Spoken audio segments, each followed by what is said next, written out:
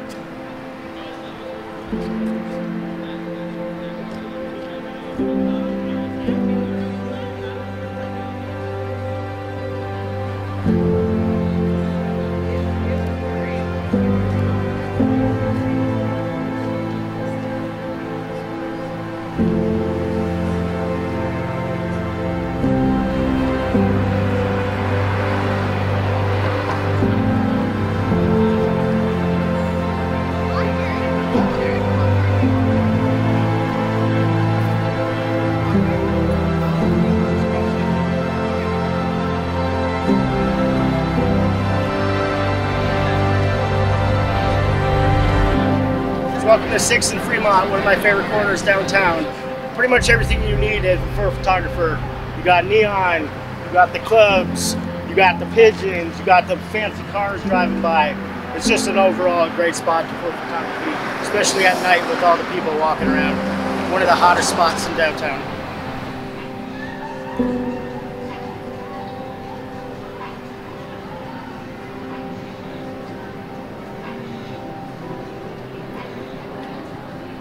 My name is Eric, and I'm an alcoholic.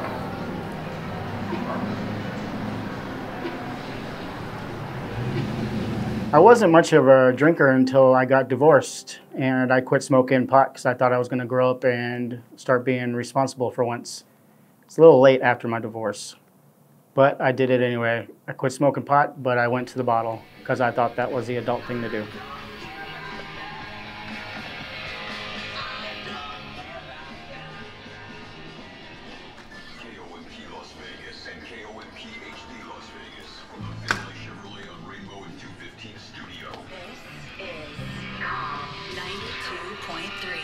Started drinking more and more. 15 years went by and I was drinking every single day.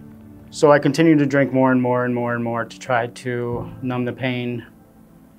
And then I was drinking so much, I was drinking to die. I wasn't drinking to black out drunk and fall asleep. I was drinking to die.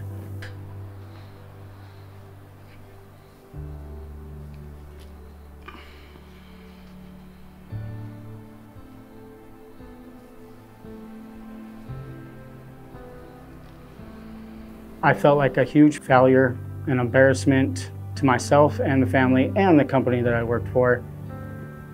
I started drinking more and more and more. Lost my job due to drinking. I had to move back in with my sister and my mother, who was dying at the time. And I continued to drink and drink and drink. It was very selfish of me to drink while my mother was dying and my sister was doing all the work taking care of my mother. Something I regret to this day, but it's something that I did, and I'm living with it now. I remember when I knew I needed to quit drinking, there was a point where I needed to stop. I know I knew I wanted to stop, I just didn't know how to stop. I was to the point where I was drinking every two hours. I was waking up from a dead sleep and waking up, and my body was telling me I needed a drink. So I would crack, crack open a beer and drink at three in the morning and had to be at work at five. One night I was at work and my body just completely cramped up. My hands were frozen to the point where I couldn't even move them, and I knew I had to go to the hospital. I made a phone call to my sister, letting her know that I was thinking about going to the hospital because of the condition my, my body was feeling. She convinced me to go to the hospital. She was on her way to pick me up, but I tried to convince her to wait one more day to go to the hospital so I could go home and finish my 12 pack. Needless to say, I went to the hospital and found out I had done major damage to my body major damage to my liver, and it was irreversible. At that point, my daughters walked in and were crying. My ex-wife was there, my sister was there. And at that point, I knew I had to quit, if not for myself, for them. After getting released from the hospital, I knew I was done drinking. I would never go back to the bottle. I never wanted to be in that situation again where something had that grip on me, that death grip. And I let it have it on it. I wanted it to take me. So after I was released from the hospital, I know I needed something to do with my time. Um, I tried drawing, I can't draw. I was taking pictures with my camera phone and I enjoy doing that, walking around downtown where I live and taking pictures of the various murals downtown, random garbage on the street, just something to keep me busy. When my sister noticed that I was posting pictures to Instagram and enjoying doing that stuff, she reached out to me and asked me if I would be interested in maybe getting a real camera. And at that point, I was actually already looking at cameras and I absolutely wanted one, but I could not afford one. My sister was nice enough to buy me my first camera, an Amazon special camera that I used and I loved, and I tried to learn everything I could about that camera. I quickly fell in love with photography and the process of photography. One day I was walking around my neighborhood with my camera and I captured an image of a young gentleman on a scooter in front of a mural getting flicked away from the mural off his scooter. That image alone got me addicted to photography like I was addicted to alcohol. I started getting some recognition from Instagram, especially Instagram, DTLV's Instagram. They reposted that picture, and the thrill and excitement I got from that picture alone, I will never forget.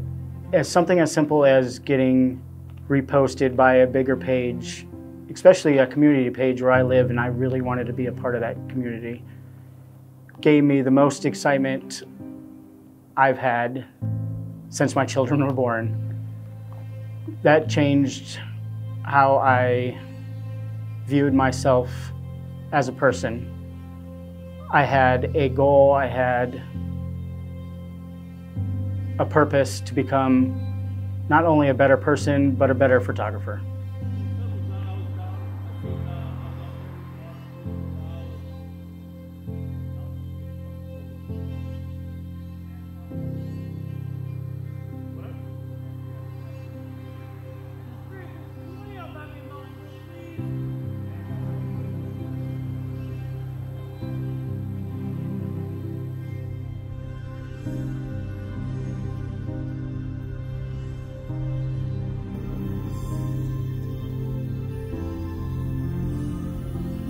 After capturing that image and all the excitement it brought to me, I knew I was addicted to photography and I wanted to learn more. So I started going on Instagram and looking at pages or photos from Las Vegas and I came across some bigger Instagram pages. Um, one of them, Boogie702, was one of the biggest reasons I got into photography. His pictures alone, when I first saw them, when I first started getting into photography, I was blown away at his images. And I was really frustrated I couldn't take images like that. I had no idea that you actually had to edit pictures. Another photographer that really stood out when I first got into photography was Cool Mike. Seeing some of his street photography, his urban photography, the way he captured light, I was in love with those images. And I think that's where my style comes from now. And I really don't have a style. But Cool Mike, his pictures really got me into the street aspect of photography and walking around and taking pictures of strangers, even though he's more of a scene photographer. Then I also found Samuel the Canadian's Instagram page, and I fell in love with his hazy image, his dark exposure, just everything that he's doing with the Vegas streets. I wanted to do those types of things.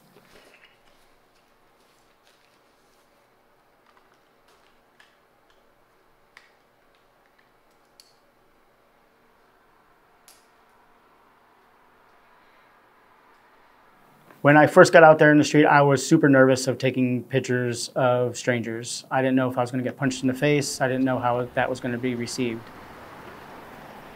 Um, one part of the success I think I've had with taking pictures of strangers up close, because I do mostly shoot with a 24 millimeter focal length, so I really got to be up close and personal. Is just when I'm out there, is just have a smile on my face. I'm already pretty goofy. I'm already dancing around, um, smiling. So that positive energy kind of comes off on the people that you're shooting, even if they are strangers. As long as you have a good attitude, they'll probably have one back to you. But the likes, the follows, and the comments kept me motivated to get out there every day and keep shooting and maybe capture another image like I did. But definitely the community that I've gotten on Instagram definitely has kept helped me stay sober with all the positive feedback, um, inspiration. When I first started Instagram, I made it well known that I was a alcoholic. And I think a lot of people were annoyed by that. But I was pushing that on everybody because I almost wanted them to hold me accountable. Because I was putting out there like, oh, I quit drinking and photography saved my life. I quit drinking, photography saved my life. If I messed up, I not only was a disappointment to myself, my family, but also the people on Instagram. As stupid as that sounds, in my case, that was true.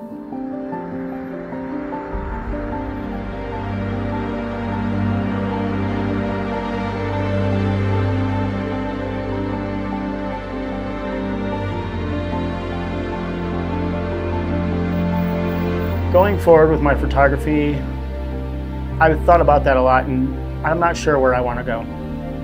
I'm having fun just doing what I'm doing now. I'm doing photo shoots. I've done a couple and they're super stressful. I, I just want to have fun and take pictures and take cool pictures. And that is keeping me sober and make, keeping me happy. As far as life, I just want to make it weird while I'm still here. That's all I want to do. I don't have any end goals. I just want to have fun, make people smile, and be weird. That's it. That's your story? That's it. I mean, Sticking to it? I'm sticking to it. I, you know, I really never thought about, you know, because I'm not going to be here much longer. I'm not going to be here much longer. So I, I don't want to set goals that are not reachable. But that shouldn't stop me from setting goals and maybe trying. I don't know. We'll have to see on that one.